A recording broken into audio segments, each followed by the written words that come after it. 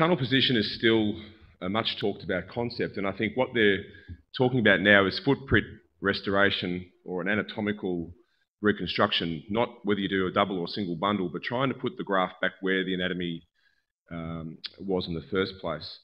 Comes with that a knowledge of surgical anatomy and accuracy, and then really evaluating ourselves after surgery with x-rays which aren't perfect, but probably moving more towards CT scans in the future, which are difficult to get and expensive. Sorry, um, and the um, uh, not expensive, um, uh, more radiation. ACL failures are becoming uh, commonly associated with anatomy. So as you become more anatomical with your reconstruction, some people are seeing more failures around the world. And again, failures are more common in adolescent uh, uh, people and females. Registry data, lots of registries are set up around the world. The Danish registry have an interesting uh, little blip in the recent uh, figures where if you do an anteromedial portal reconstruction, there is an increased risk of failure. And now, just a, an update on our registry, we're starting a pilot study around different centres in Australia now with a view to setting up our registry in the future. There's much less single bundle, double bundle debate, and fewer people are performing double bundles around the world. At the last ACL study group this year, there was a large discussion about surgical uh, nomenclature and moving more towards an anatomical system of describing points and where you are inside the knee, and I'll talk about that in a second. Biological ACL, uh, there's still work being done on trying to repair the ACL, collagen implants, lots of work on re retaining the stump and even things like PRP to enhance healing. Osteoarthritis uh, after ACL injury and surgery is a big topic. Uh, the concept of restoring knee homeostasis, symmetrical range of motion. Don Shelbourne presented a really excellent paper with 10 to 20 year follow up on the, the correlation between range of motion, symmetrical range of motion, osteoarthritis, and found that if you don't restore the range of motion, you increase the risk of osteoarthritis. And the medical management of uh, osteoarthritis as well, trying to prevent it more than anything else. Return to sport, only 60 to 70% of our people or patients return to their previous level of sport. And so the trend now is even in America to delay the return to full activities and the development of testing protocols to uh, ascertain whether our athletes can return to sport. Outcomes, there's still lots of work trying to be done on devising an outpatient pivot shift measurement and trying to test rotation in the outpatient department. Clearly, we need to manage other pathology. That's also a big point. Meniscal tears, cartilage, uh, collateral ligaments and alignment. Synthetic ligaments, uh, at the ACL study group, they were widely condemned. Only two surgeons out of 150 people present had used the LARS in the last 12 months. There was one Australian surgeon and one guy from China. So what I thought I'd like to do is just briefly go through again the anatomy, surgical anatomy, and where we are in the knee when we're performing an ACL reconstruction. A little bit about a surgical technique, uh, anatomical failures, and outcomes. So we know anatomy is important. Um, the ACL, as we all know, has two functional bundles, an AM and a posterolateral. Their tension and their orientation changes with uh, flexion and extension cadaveric video, if it runs, will show us that, that we've got the anteromedial bundle, uh, front the posterolateral bundle in flexion. You can see it come into play distally here. And we, we, all of us have studied this and we understand this. But this is what we see in our anatomy books, and this is what we visualize uh, on MRI scans, and that's the knee in extension. So in extension, the ACL attaches in the posterior aspect of the uh, femur, and we know the tibia is a static point. So in uh, 90 degrees of flexion, the tibia is still in that position. Lots of work's been done on the anatomy around the world. Charlie Brown um, demonstrated this uh, quite nicely that uh, if you look at the lateral wall of the femur, the bottom 30 to, or the posterior 30 to 35% of the lateral wall is made up of the anterior cruciate ligament uh, uh, insertion.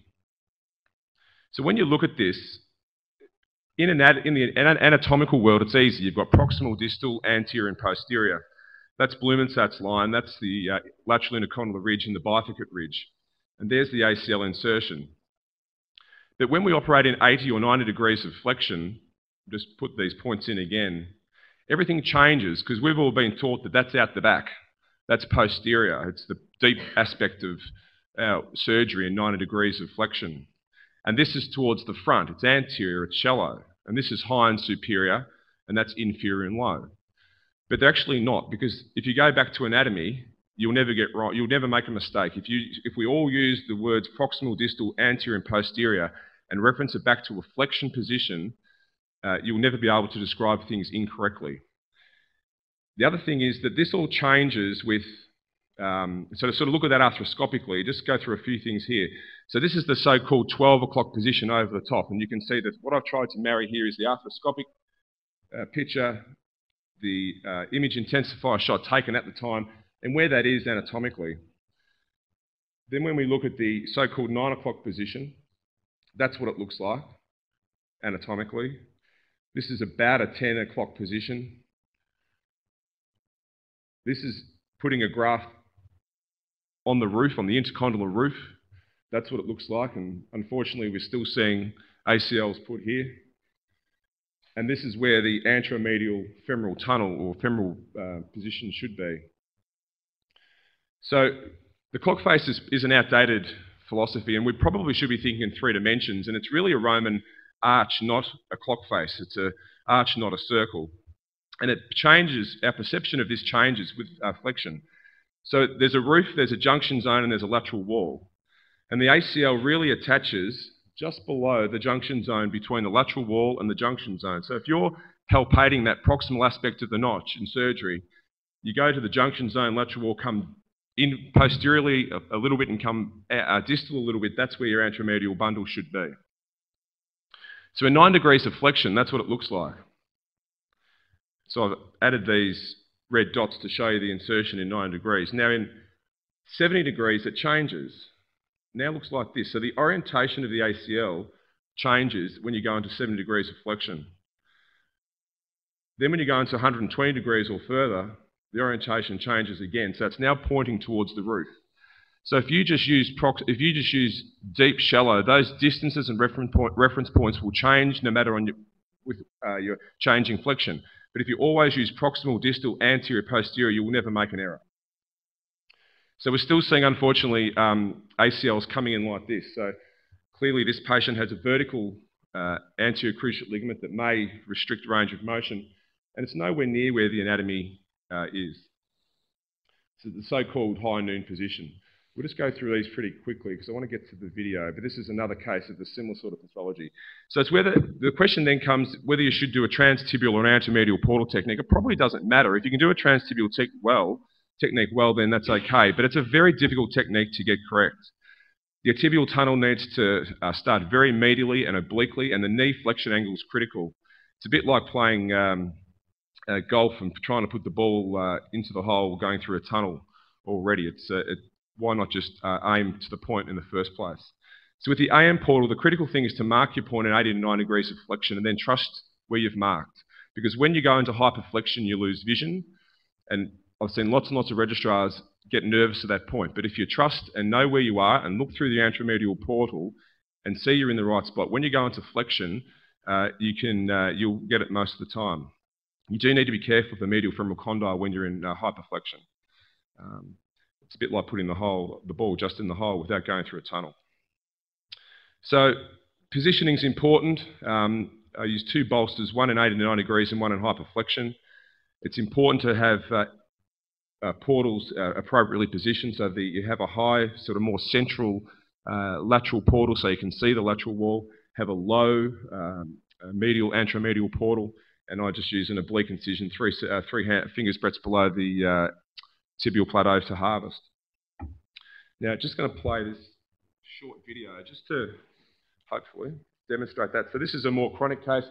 Uh, leave as much of the tibial stump as we can just demonstrating that that's the, the roof, the junction zone, the lateral wall. I use a diathermic uh, distal and mark my spot, tending more towards an anteromedial position than anything else. Looking through the anteromedial portal, making sure you're in the correct spot. So then when you go into hyperflexion with this guide, you lose vision, but you've trusted your spot and you mark your, um, and you make your drill hole. This is again just looking now at the same thing after passage of the suture. The tibia is a lot easier. Uh, none of the ACL attaches uh, posterior to the spine, so it's all anterior to that, and really aiming towards the posterior aspect of the anteromedial insertion point. I don't use diathermy normally because you can just go straight with a tip aimer. And then you drill, trying to keep as much of the stump preserved as possible, and then pass your graft. And then if we just move on to the second video, this is a more acute case with lots of the stump and lots of the ACL still present. And I think it's really important to, to drop your eyes towards this part of the lateral wall. In the old days, you used to take all this out and look up at the, the, uh, the roof and debride everything and, and really sort of pick the uh, tissue off the bone. You don't need to do that. If you sort of start down here and work your way superiorly or anteriorly, you can find that attach, uh, attachment point uh, pretty easily. So again, mark an 89 degrees of flexion and then move up to uh, hyperflexion to drill your tunnels. We can probably stop that there. And then in terms of stump preservation, this case really got me because this is a case at the Austin Hospital where I preserved the stump. And you can see this is the post-operative shot at six months. And here's the stump at the front here, and here's the graft coming through just behind that. And it looks like it's incorporated pretty well. And we obviously don't know any tensile properties of this, but it looks, it looks uh, impressive. I think the more anatomical we are, the more failures we might see. The further we go towards the posterolateral bundle, uh, the more graft forces uh, we place through our grafts in translation and rotation. Most studies look at control of motion, not graft forces. Dave McAllister at uh, UCLA, however, looks at graft forces a lot, and what he's found is as you go from 30 degrees of flexion with all these reconstruction single and double bundles, in every single one, 30 degrees to zero degrees of extension, you increase graft forces. As you go further towards the posterolateral bundle, you increase them even further. And therefore, we may be seeing uh, increased forces in our grafts and increased failures potentially. And if that happens, particularly if you do double bundle surgery, you then may lose control of your anteromedial bundle and have complete graft failure. Just very quickly, we've just done a recent study at La Trobe at the uh, MRC looking at double and single bundle patients, put them through the gait laboratory. We did low and high demand tasks, looking at total range of motion and adduction moments. The groups were symmetrical with numbers and characteristics apart from follow-up from surgery to uh, testing. And we found really no difference. In the non-operated limb, they were very symmetrical. In the operated limb, the double bundles in, um, in green here, in the jog and cut activity, had increased total range of motion, but when you compared to the opposite limb, they were normal. And then when you looked at the uh, uh, single bundle group, there was a statistical difference in the hop and dodge, but it was less rotation, not more. So really what we found overall was there was no difference between the groups as the activities increased in intensity, the range of motion increased, and there was no difference in adduction moments between the two groups. So in conclusion, I just, particularly to the registrars and trainees, think about the anatomy and not what that means when you're operating, so your surgical anatomy. Tunnel position on the femoral side probably err slightly towards the anteromedial uh, tunnel position. Stump retention is uh, important if possible, and there's going to be potentially more failures, more failures as we go towards the posterolateral bundle. And that probably means we should be delaying our uh, return to sport and test patients before we do that. This uh, single bundle, double bundle debate is probably uh, nearly over, and what's probably more important is anatomical placement of the, uh, of the grafts. Thanks very much.